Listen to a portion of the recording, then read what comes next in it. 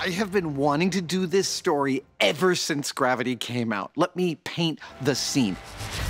Sandra Bullock is stranded in space and needs to get herself from her capsule to a nearby space station. She blows herself out of the airlock and immediately begins spinning out of control. But she has a fire extinguisher with her. She uses the extinguisher to get herself under control, and then she uses it to navigate her way to the space station, saving her life. I love a happy ending, but come on, really? Okay, that is our question, fellow space firefighters. Can a CO2 fire extinguisher operate as an impromptu jetpack in space? Where do you guys want to get started? We need to see how much thrust this thing can put out. I totally agree. Let's do it. One. When it comes to compressed air canisters and propulsion, It went through this one and it was working its way through that one. Propane rocket. the Mythbusters have an explosive and somewhat unpredictable history. And when it comes to fire extinguishers, well, let's just say they're a familiar feature on the show. But to date, the Mythbusters have yet to combine the propulsion of compressed gas, a fire extinguisher, and a semblance of control. This myth is all about how much thrust comes out of a fire extinguisher. So the guys are going to start first up by exploring that thrust. I'll show you what I'm thinking about by starting first. I've got my own idea about this, and I'm going to show it to them first up, It's like a gnome. just to grease the wheels of their mental machinations. All right. I put a pointy head so I'm aerodynamic. As soon as I lie down on this creeper, I want one of you guys to hand me a fire extinguisher, and we'll go from there, okay? Okay. All right. Yep, Adam might be wearing a purposefully preposterous pointy hat, All right, are you guys ready? but this is the crux of the myth. Here we go. This is CO2 thrust test. Can you propel yourself with the thrust from a fire extinguisher as if it were a jetpack? In three, two, one.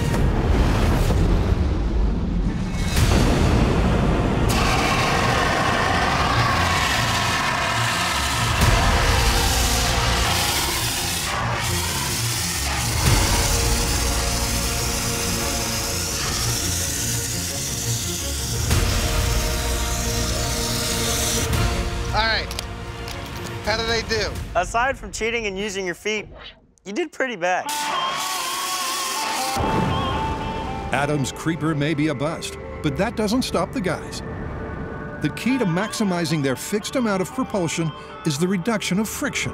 So, they're trying two systems of locomotion with lower friction bearings. Totally 90s roller skate test. In three, two, one.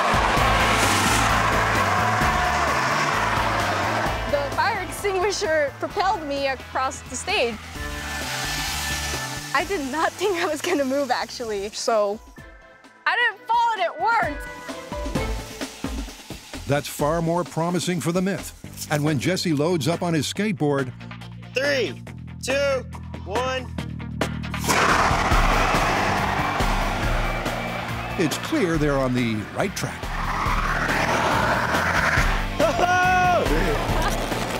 Was absolutely incredible. Dude, that was awesome! I was expecting to move maybe a little bit. I was not expecting me to go that far. I felt like I was in a rocket ship. Liftoff. We have a liftoff. All right.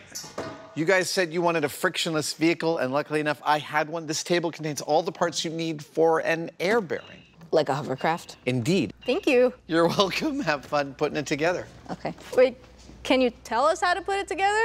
Nope. A bearing is used in engineering to reduce friction between moving parts. It's like playing whack-a-mole. And another name for a hovercraft is an air bearing. That's good.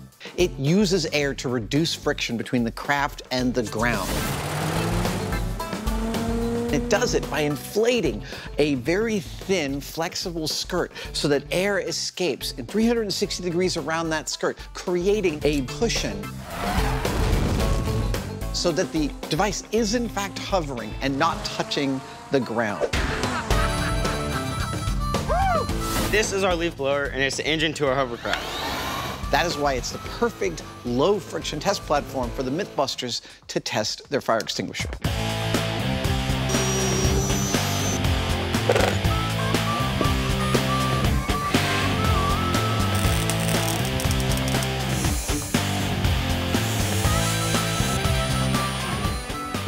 Foot pedal is ready. With the hovercraft assembled, a quick test to check that it, you know, hovers. Ah! so cool! Elijah! Oh my god, this actually works! Oh my god! No! Ooh. It's actually hovering. The myth is that you could propel yourself in space like in the movie Gravity.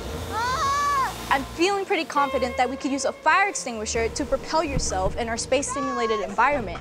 But controlling in what direction you want to go is a completely different story that I'm not so sure about. So, off to the ice rink to find out. Yep, they have the low friction vehicle to represent the astronaut.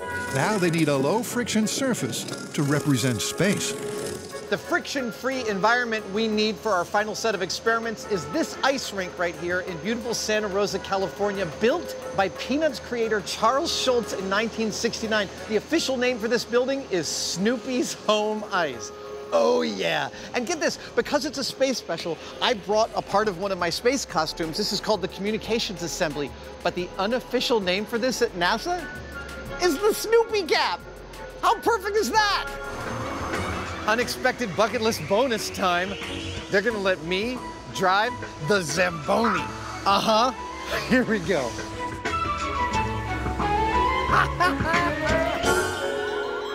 what? I can add a Zamboni to the list of my skills now.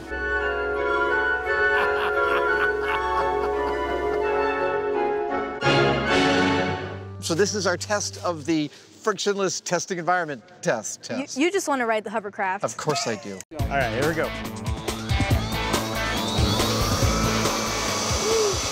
Perfect. Perfect. Are you ready? I am so ready. Okay, and three, two, one. Dude!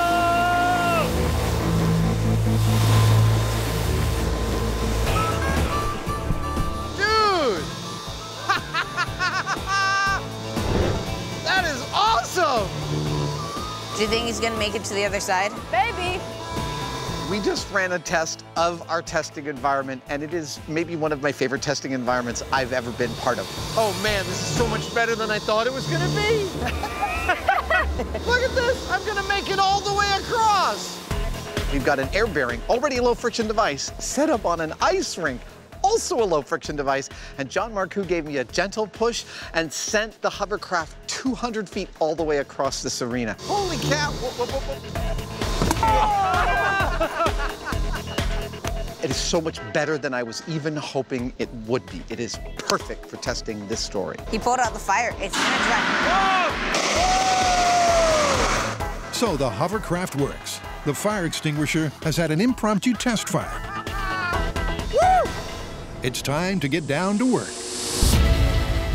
First up, as per the movie, Sandra Bullock's character uses her makeshift jetpack to stabilize a wild spin.